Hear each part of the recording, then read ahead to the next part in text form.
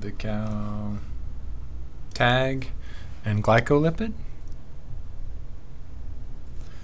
And remember, tag would be something we'd add to the diet. Um, they don't normally consume a lot of tag, but they would, especially grazing, consume a fairly significant amount of glycolipid. We're going to have three processes that take place in the rumen, the first being hydrolysis. And we're going to take tag in this case,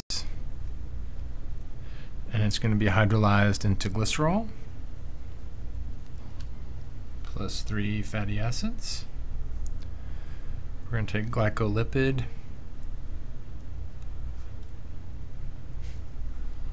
hydrolyze it into glycerol plus two fatty acids plus a sugar. And then we're going to take phospholipid.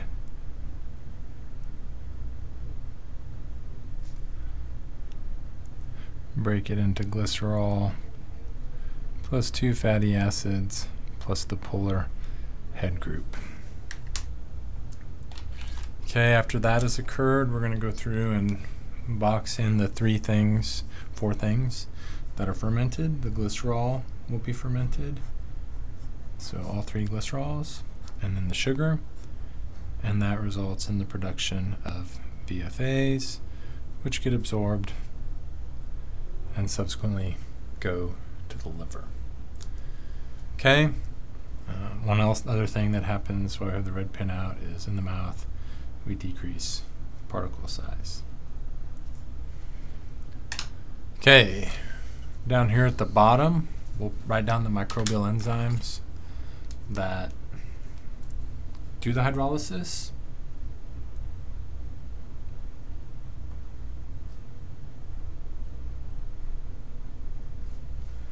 And the microbial enzymes, the first one is lipase. And lipase is going to work on the tag. The second one is galactolipase. And galactolipase is going to work on the glycolipid. So you might put a 1 here to remind you 1, 2, and then 3 phospholipase. So on the exam, the last exam, I asked some question about like where proteolytic enzymes synthesized or so, lipolytic enzymes, enzymes that break lipids apart, would be synthesized in the rumen by microbes. Technically, in abomasum, we didn't really talk about it, but then again in the small intestine or in the pancreas, and then in the large intestine. But we'll get those in a second. The last thing that's going to happen, or the last thing that's going to happen to fat that's fed in the rumen, is hydrogenation, and that happens via the activity of hydrogenase. and hydrogenation, we're going to take the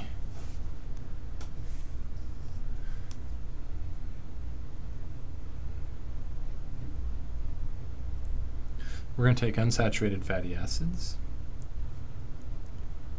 and we're going to produce saturated fatty acids by adding hydrogen.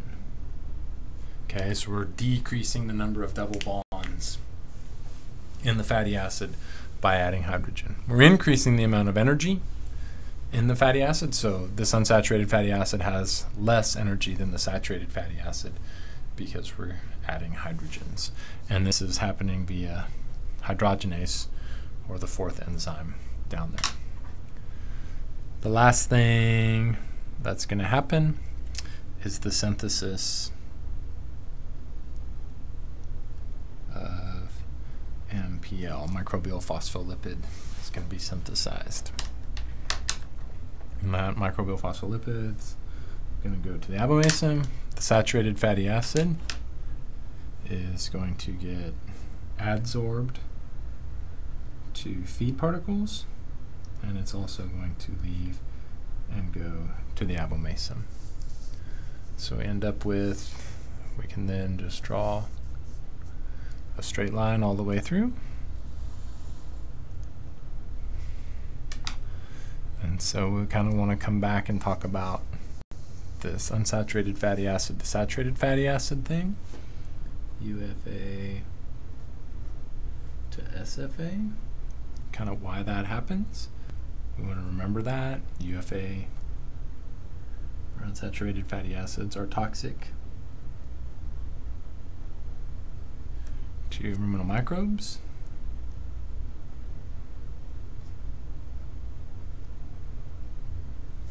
Specifically, fiber fermenters.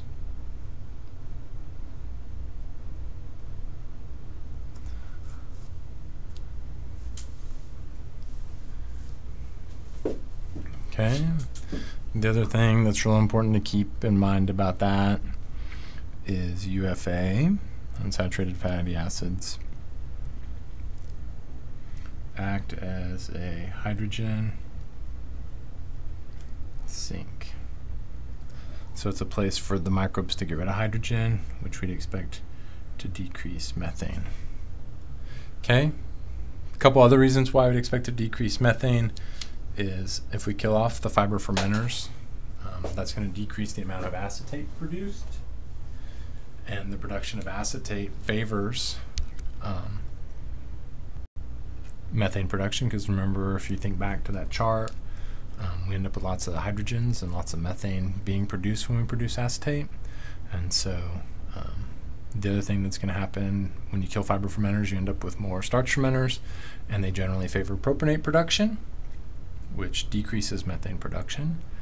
And then last but not least, we have this glycerol up here being fermented, and that favors the production of propionate, which also decreases methane.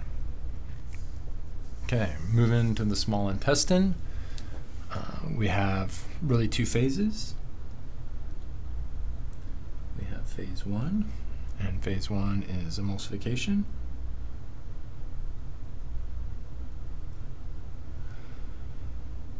And we have physical emulsification and chemical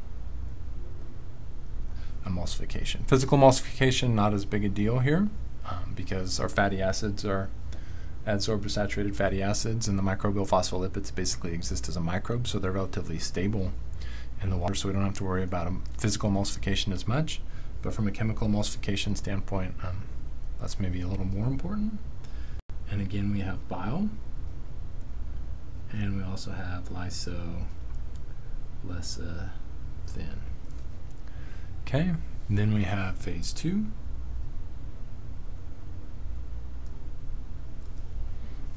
Which is enzymatic digestion.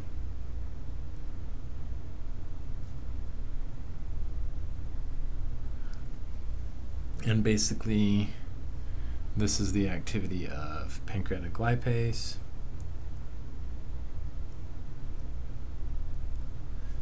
and phospholipase. Both of pancreatic origin. Okay? So now we'll go draw some pictures of that. So we have bile being produced in the liver, stored in the gallbladder.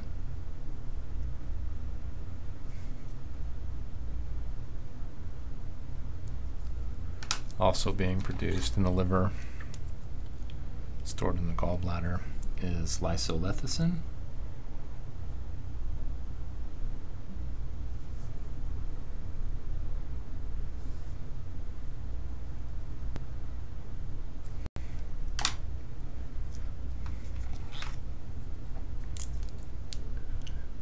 We then have bicarb.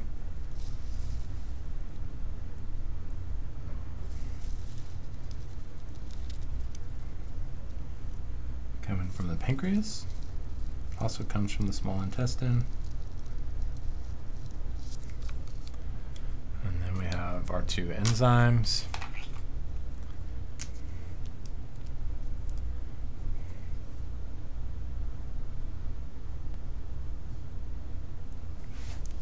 We have pancreatic pancreatic lipase we have procholipase, and we have phospholipase, all of mammalian origin. Somewhere down here, we're going to add that for pancreatic or for procholipase, procholipase to be activated. We need to have trypsin, and that results in colipase. Again, um, colipase and pancreatic lipase are going to play a huge role because we don't have a lot of tag being presented to the small intestine, um, but they're still present, so we want to capture that. Draw an enterocyte right here.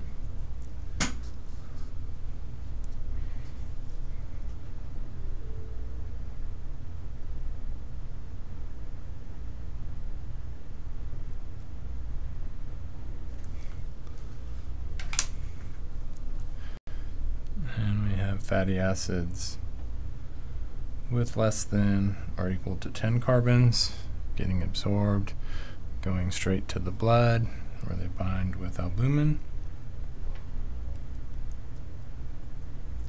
And from there they go to the liver.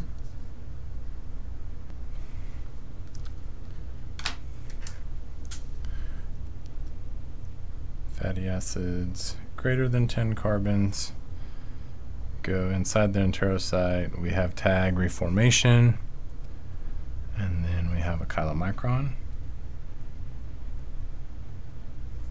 Something we want to add here is that to make this tag, we need to have a glycerol, and that glycerol comes from glucose.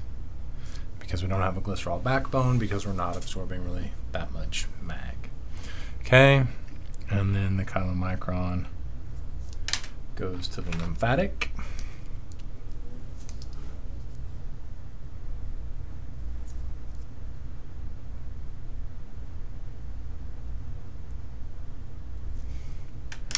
From the lymphatic, it goes to the blood.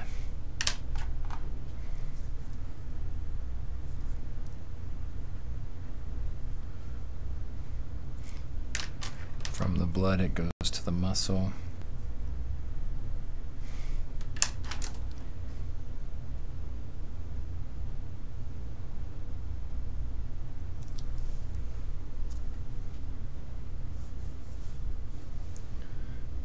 also goes to the adipose.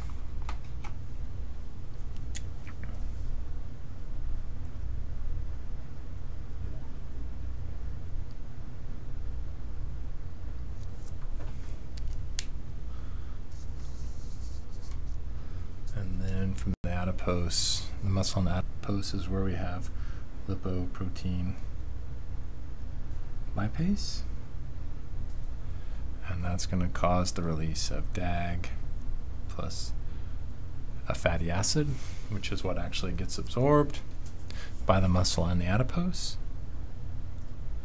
And the remainder, after that's happened for a while, is a chylomicron remnant.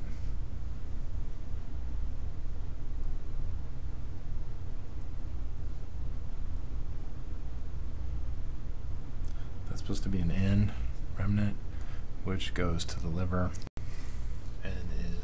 endocytosed by the liver. The liver is going to take it and metabolize it away.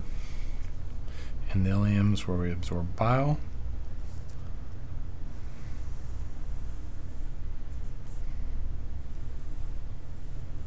And bile goes to liver. That's where we have enterohepatic recycling of bile. In the large intestine, we can have hydrolysis again. And we can have hydrogenation. And so if we have a little bit of glycerol made or released in that process, that will become VFA, which goes to the liver. And we're pretty well versed in what happens there. And we have MPL synthesis.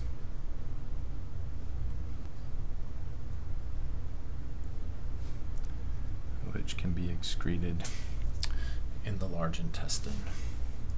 So we have we can have the net addition of lipids here. So we can create more lipids than showed up in large intestine. We could excrete more than left the ileum. We have the removal of lipids here in the small intestine, so the absorption of lipids occurring in the small intestine. And in the rumen, we can have the net addition of lipids via the synthesis of microbial phospholipid. Okay, so it's possible for the animal to consume 100 grams of lipid, but 200 grams of lipids show up at the abomasum, and that's because 100 grams was synthesized by the microbes in the rumen. Okay, those are made up numbers, but just to illustrate the concept. Okay. I think that completes the cow.